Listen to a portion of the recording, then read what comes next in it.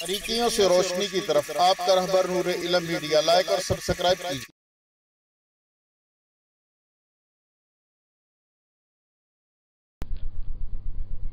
کوئی یہ عقیدہ رکھے کہ حضور صلی اللہ علیہ وسلم ہمیں بخشیں گے، یہ عین شرک ہے۔ حضور اکرم صلی اللہ علیہ وسلم خود فرماتے ہیں کہ میں کوئی انوکھا رسول نہیں ہوں۔ ایسا ہی رسول ہوں جیسے انبیاء علیہ السلاۃ والسلام دنیا میں آئے۔ مجھے کیا خبر کہ اللہ کیا معاملہ فرمائے گا قیامت کے دن میرے ساتھ؟ حالانکہ حضور اکرم صلی اللہ علیہ وسلم کی ذات وہ ہے جو اول و آخر مغفور ہیں بخش بخشائے ہیں۔ اول و آخر محبوب ہیں، مگر خوف کا اتنا غلبہ، خوف اس درجہ کا کہ آپ صلی اللہ علیہ وسلم فرماتے ہیں کہ مجھے معلوم نہیں میرا کیا انجام ہو۔ میں کیا کہہ سکتا ہوں؟ تو میں تمہیں کیا بخشوں گا؟ مجھے اپنی خبر نہیں۔ تو جب انبیاء علیہ سلاۃ والسلام یہ کہیں، تو ہم اور آپ کون ہیں کہ انبیاء علیہ السلاۃ والسلام کو بخشندہ کہیں کہ وہ ہمیں بخشیں گے یا وہ ہماری مفرت کر دیں گے؟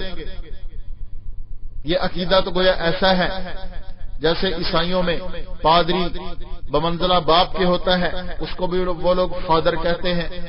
اس کے سامنے اتوار کے روز جا کر اپنے گناہوں کی فرست پیش کر دیتے ہیں۔ اور وہ کہتا ہے کہ میں نے بخش دیا، اب گویا نجات ہو گئی۔ حالانکہ اسے خود خبر نہیں کہ وہ بخشا جائے گا یا نہیں۔ بعض شخصیتوں میں تو اتنا غلب کرتے ہیں کہ توحید میں خلل کر ڈالتے ہیں اور بعض توحید میں اتنا غلب کرتے ہیں کہ نبوت کی عظمت میں فرق ڈال دیتے ہیں۔ تو شخصیتوں میں خدائی اوصاف جو لوگ مانتے ہیں، وہ ٹھیک نہیں کرتے۔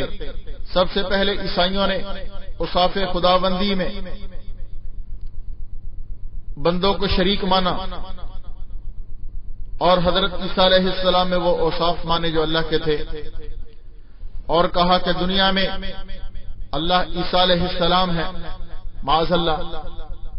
اور آخرت میں آسمانوں میں اللہ ہے۔ گویا کہ دو خدا مانے، ایک خدا مجسم مانا جو جسم والا، ایک خدا مجرد خدا مانا جو بلا جسم کے ہیں۔ صفات وہی مانے جو اللہ کی ذات کی ہیں۔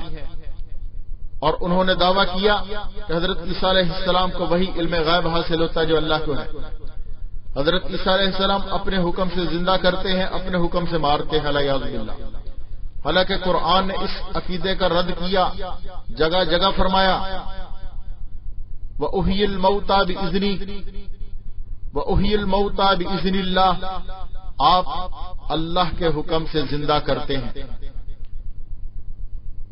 تو زندگی بخشنے والا کون ہے؟ اللہ ہے۔ موجزہ حضرت عیسیٰ علیہ السلام کو عطا فرمایا، سبب آپ کو بنایا، قوت اللہ کی تھی۔ اور اسی طرح آپ کا موجزہ تھا، وہ ابری الکمہ ول ابرسا آپ ابرس کو جو برس زدہ مریض ہوتے تھے اور جو مجزوم ہوتے تھے، ان پر ہاتھ رکھتے تو وہ شفا پاتا۔ اب شفا دینے والا کون ہے؟ شفا دینے والا اللہ ہے۔ ذریعہ کس کو بنایا؟ حضرت عیسیٰ علیہ السلام کو۔ معجزہ آپ کے ہاتھ سے ظاہر کیا۔ بہرحال، حضرت عیسیٰ علیہ السلام کا معجزہ تھا۔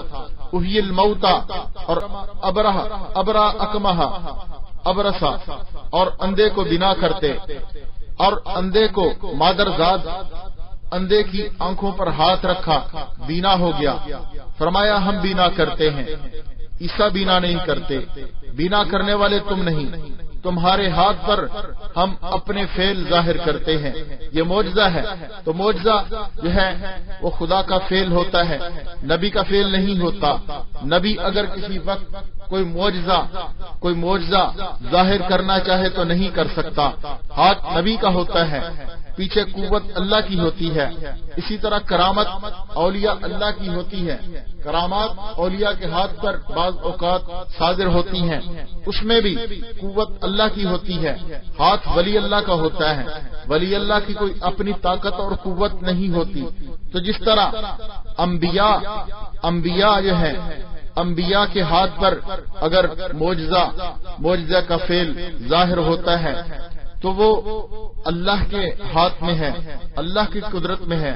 اسی طرح حق تعالی اگر کسی ولی کے ہاتھ پر کرامت ظاہر کر دیں، وہ فائل ولی نہیں، ولی کا فیل نہیں، فائل اللہ ہوتا ہے، ولی کے ہاتھ پر ظاہر کیا جاتا ہے، تاکہ اس کی خصوصیت نمایاں کر دی جائے۔ تو بہرحال ہر چیز میں فائل حقیقی، خالق، اللہ جل شان ہیں۔ دوسری جگہ پر اللہ رب العزت نے صاف طور پر فرما دیا، واللہ خلقکم وما تعملون، واللہ خلقکم وما تعملون۔ اللہ تمہیں بھی پیدا کرنے والا ہے، تمہارے افعال کو بھی پیدا کرنے والا ہے۔ تم خود اپنے افعال کو پیدا نہیں کرتے، ارادہ کرتے ہو، وہ بھی اللہ ہی پیدا کرتا ہے۔ تمہارے ارادے پر فیل مرتب ہوتا ہے، اس فیل کو اللہ پیدا کرتے ہیں۔ تو اول سے لے کر آخر تک تخلیق اللہ کی چلتی ہے۔ حیو قیوم وہ ہے، زندہ وہ ہے، تھامنے والا وہ ہے۔ زندگی عطا کرنے والا وہ ہے۔ کوئی زندگی کو تھامنے والا نہیں۔ اگر طبیب دعا دے، زندگی ٹھہر جائے، وہ سبب بنی بقائے حیات کا۔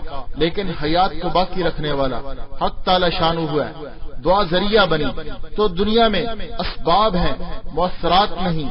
مؤثر صرف اللہ کی ذات ہے باقی اس کی قدرت دنیا میں نمایاں ہو رہی ہے اسباب کی طرف سے۔ آخرت میں ظاہر ہوگی۔ بلا توسط اسباب کے اولاد اللہ دیتے ہیں۔ سبب انسان بنتا ہے۔ مرد، عورت شادی کرتے ہیں، ملاپ ہوتا ہے اور پھر نو مہینے تک۔ عورت کے پیٹ میں حمل ٹھہرتا ہے، حمل کے بعد حمل وضع ہوتا ہے۔ اب یہ بچہ کس نے دیا؟ دینے والا اللہ ہے۔ سبب مرد اور عورت بنے۔ مرد اور عورت کے اختیار میں نہیں کہ وہ جو ہے بچہ خود پیدا کر سکیں۔ کتنے لوگ جو ہیں وہ بانج ہیں۔ کتنی عورتیں اور مرد جو ہیں بانج ہیں۔ کتنوں کو اللہ نے اتنا دے دیا۔ کھانے کے لیے گھر میں کچھ نہیں، لیکن ہر سال بچہ پیدا ہوتا ہے۔ یہ کس کے قبضہ قدرت میں ہے؟ بعض لوگ جو ہیں، اتنے امیر و کبیر ہیں کہ گھر میں کھانے کے لیے کوئی نہیں۔ کروڑوں اربوں روپے گھروں میں پڑے ہیں۔ لیکن ایک بچہ جو ہے، پیدا کرنے سے قاصر ہیں۔ خود نہیں کر سکتے۔ اسباب اللہ نے بنائے۔ اب حقیقی جو ہے، حقیقی قوت وہ اللہ کی ہے۔ اگر اللہ کسی کو چاہے، بیٹا دے، بیٹی دے۔ کسی کو چاہے، بیٹیاں ہی بیٹیاں دے۔ کسی کو چاہے، بیٹے ہی بیٹے دے دے۔ کسی کو چاہے کچھ بھی نہ دے۔ اللہ رب العزت فرماتے ہیں قرآن پاک میں یہ بلی میں شاہ اناسا، جس کو چاہوں بیٹیاں دوں۔ وہ یہ بلی میں شاہ ذکور جس کو چاہوں بیٹے دوں۔ او ضب ذکران و اناسا، جس کو چاہوں بیٹیاں بھی دوں، جس کو چاہوں بیٹے بھی دوں۔ ویجا میں شاہ عقیمہ جس کو چاہوں کچھ بھی نہ دوں، اس کو باز رکھوں۔ تو دینے والا کون ہے؟ دینے والا اللہ ہے۔ سے روشنی کی طرف، آپ کا رہبر نور علم میڈیا۔ لائک اور سبسکرائب